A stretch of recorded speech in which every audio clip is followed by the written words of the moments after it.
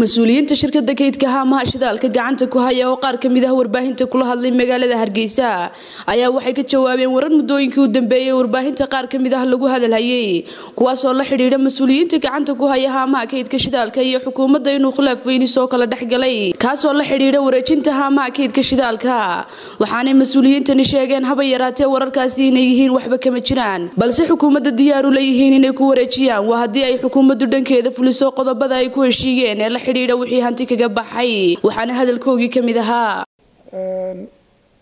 Arrinkan ku jira inta door ee dhowrka muxuu ahaye cisho ku jiray miidiyaha iyo iyo ku jiray arrinkaas oo ah haamaha berbera oo aanu nahay shirkadihii hayey ee gacanta ku hayey horta marka hore haamaha waxaanu ku waxaanu lagu wareejiyey heshiis waafaqsan shuruucda waafaqsan dalka ayaan horta dee nalagu wareejiyey oo ah kira. Ah marka heshiiskaasu manaanaan boobin manaanaan qaadane wuxuu heshiis baan ku galnay. Waxaanaanu diyaar u nahay in heshiiskaas oo kale inaanu muxuu ahay aanu haamiina ku wareejinana diyaar baanu nahay. Dee haamaha shirkaduhu mana boobin mana dhicin xoogna kuma qabsane waxay ahayd. Sifo sharciya maaragtay lagu wareejiyey. Madaxweynaha imanka qaranka mudane muuse biixi cabdi markuu wareegtada soo saarayey ee haamaha uu gacanta dowladda dib ugu soo celinayey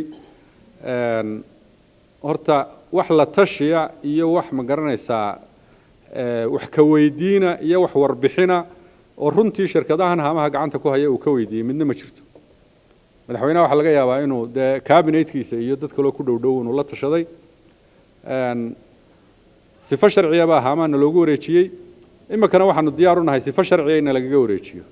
Sifada sharciga laftiisii una lagaga wareejiyo. Heshiis baa annaga iyo dowladda haddaanu nahay shirkadaha haamaha gacanta ku haya iyo dowladda heshiis baa udhexeeya dadweynahan hadduu bayaaminaya. Lacag afar milyan waa la geshay ku dhow. Oo qoraalkoodiina wasiirka ganacsiga kolba joogay saxeexay. Wasiirkii hawlaha guuda saxeexay. Lama gelin waxaanu wasiirkaasi kuwaalati ahaan aanu aanu u taagnayn oonu saxiixin saddex shirkadood amba afar shirkadood baana qadaraas lagu siinayey wasiirkuna wuu saxiixayey madaxda shirkaduhuna way saxiixaysa tahay laakiin annana waxa aanu rabnaa oo aanu dowladda ka wada hadalay guddigii arrinkan runtii waxa uu soo qoray wasiirku isagoo ah guddoomiyihii guddiga. Wuxuu soo qoray in la wareejiyo sagaalka bisha oo axadda ah taas baa waxa uu keenay. Oo broseskii runtii hore ay ku socotayna ay ka muuqato inay inay inay ka yar duwan tahay ama ay ka duwan tahay. Kaas baa markaa shirkadaha keenay inay ka hadlaan. Laba qodob baa muhiima oo aanu halkan ka soo jeedinaynaa. Mid waa mid miidiyada ku wareegaya oo uu ka hadlay guddoomiyuhu oo ahaa shidaalkii bay shirkaduhu qaaligareeyeen markii meeshii caynkan shidaalkii waana soo gelaya galabtay ahayd inuu soo galo lamana qaaligarayn laakiin waxaa suuqa jira ee marka hore dabadda loola soo baxo dee dadka gacanta ku hayay shirkadu wax ma kordhin. Taa waxaan u sheegaynaa babliga dadweyne waxaan u sheegaynaa wax sifa sidii caadiga ahayd ka duwani ma dhicin.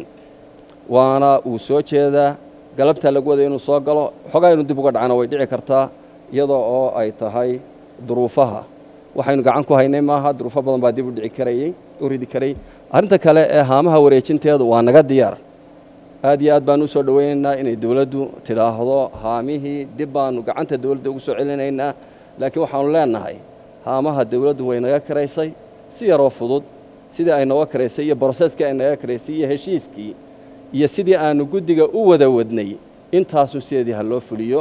Saasaanu qaadannay waxaanu qaadannay inaannu si xaragale u wareejinno haamihii shidaalka annana si fiican naloo ambabixiyo oo wixii nalaga galay nala siiyo. Markaan hadalkaba soo koobo in hantidii naga gashay ee aanu ku invest garaynay waxaanu samaynay waa investment. Haddaanu investment samaynay marka hore dawladdu nagamay maaragtay local investors baanu nahay. Haddaanu local investors nahayna waxaanu xaq u leenahay hadday go'aansatay muddo shan iyo labaatan sannadood bay horena siisay. Hadday tan dambe go'aansantay inay naga qaato annana waxaanu xaq u leenahay in wax iyagii miiska naloo dhigo.